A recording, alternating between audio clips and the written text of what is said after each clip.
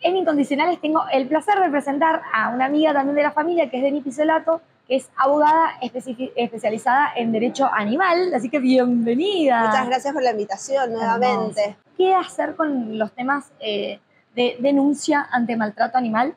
Porque es muy recurrente y mucha gente no sabe qué hacer. Quiero que lo recordemos para, para el televidente. Bien, eh, cada vez que tengan, han presenciado un hecho de maltrato animal, eh, pueden hacer dos cosas o van eh, a la comisaría donde está la oficina fiscal y efectúan la denuncia penal por maltrato, o bien la pueden hacer online.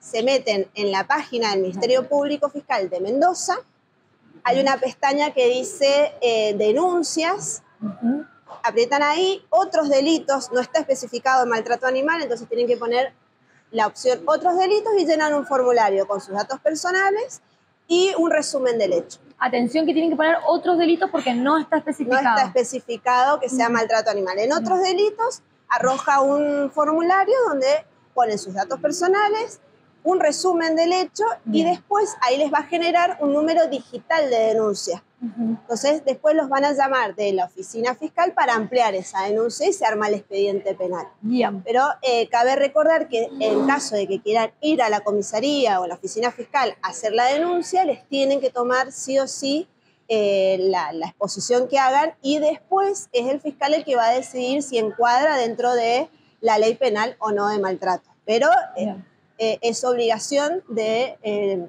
judicial tomar la denuncia. ¿Y cuándo consideras que es maltrato animal? Eh, bueno, tenemos una ley específica que es la 14346, donde a nosotros nos tipifica las conductas que configuran un maltrato. Por ejemplo, el no alimentar en cantidad y calidad a los animales es maltrato. Em, el tema de que a los caballos que se los usa para trabajar no se les dé el descanso adecuado o se vean eh, con dolor físico, cansancio, eh, también es maltrato.